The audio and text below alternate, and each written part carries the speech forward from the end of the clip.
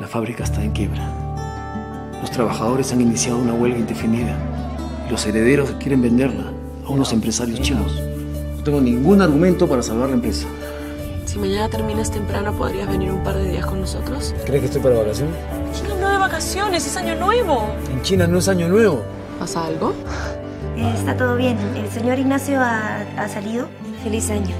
Feliz año para ti también. Lo que tienes que hacer es bajar el estrés, relajarte, fluir. Fluir.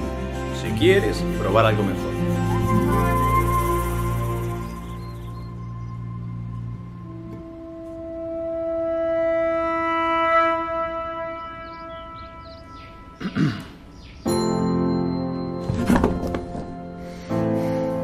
¿Eres feliz?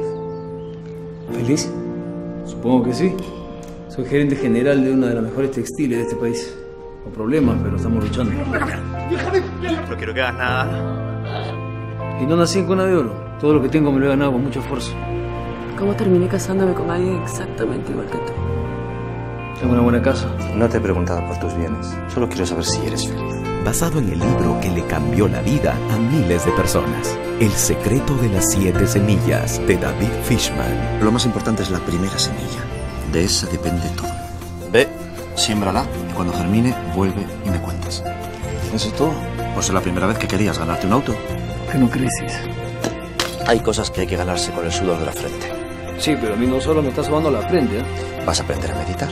Vas a empezar por quitarte esa cara de gerente importante en una empresa muy importante, rodeado de gente todavía menos importante.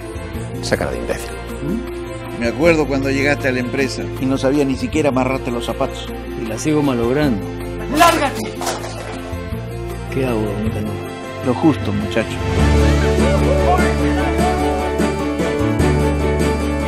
Carlos Alcántara. Mi corazón necesita descanso médico, pero tengo otras partes del cuerpo. Javier Cámara. Yanela Neira. Marcos Unino. Y Federico Lupi.